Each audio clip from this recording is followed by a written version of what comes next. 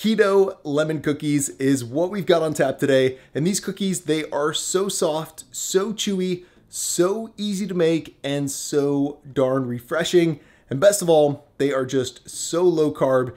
Each one of these cookies has just one net carb. So with that said, let's not waste any more time. Let's jump right into it. Make these low carb keto cookies.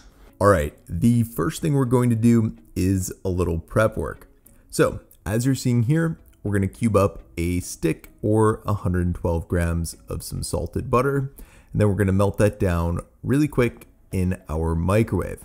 Then we're going to give a large egg a good spin, and yes, that's very important, and then we're gonna crack and add it to a medium-sized bowl. Now, once we've got that in there, we're gonna add the melted butter that we just prepped along with a teaspoon or four grams of vanilla extract. Then we're gonna add the lemon flavor to our keto cookies. And as you're seeing here, we're gonna do that by adding the juice of one half of a medium-sized lemon. Now, once you've given that lemon a good squeeze, we're gonna get out a whisk and we're gonna whiskify all of our liquid ingredients together until they're combined. Then when they are, we're gonna set them aside and we're gonna get out an even larger bowl and start adding the dry ingredients for our keto lemon cookies. With that said, as you're seeing here, the first ingredient we're going to add to the bowl is going to be some blanched almond flour, and we're going to be adding a heaping 2 cups or 236 grams of it for today's recipe. So once you got that in there, we're going to sweeten up our low carb cookies by adding some confectioner swerve since it has zero net carbs and zero calories. And for our keto cookies today, want to sift in and use a half a cup or 80 grams of it. Then when we've sifted that in there, we're gonna add a half a teaspoon or two grams of baking powder, and then we're gonna use a whisk to combine all of our dry ingredients together.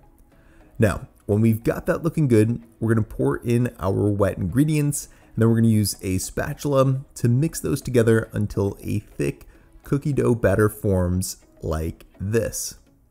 Then when that's looking how we want it, we're going to refrigerate our dough for about an hour. Now, after we've chilled the dough, we can preheat our oven to 300 degrees, and then we can start shaping and forming our keto lemon cookies from the dough. With that said, if you use a tablespoon sized cookie scoop like I'm using, you should end up with about 16 keto lemon cookies. And as you're seeing here, after you've shaped those cookies, you'll want to add them to a baking sheet lined with parchment paper and then bake them for around 15 to 18-ish minutes. Then we're gonna let them cool down on the tray that we bake them on because they're gonna be very soft at this point and need some time to firm up. And then when they've had that time to set and harden, we're gonna transfer them to a wire rack to finish cooling. Now, once the cookies have cooled, I like to make a quick glaze to cover them in. So in a small bowl, I'm gonna sift in a quarter cup or 40 grams of confectioner swerve, along with the juice from the other half of the lemon that we used to make the cookies.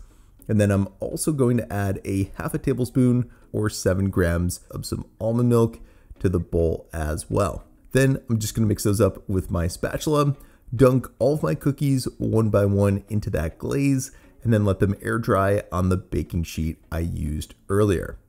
And that, my friends, is how to make some incredibly delicious keto lemon cookies. I hope you guys enjoy these. They are incredibly soft and chewy and just oh so refreshing.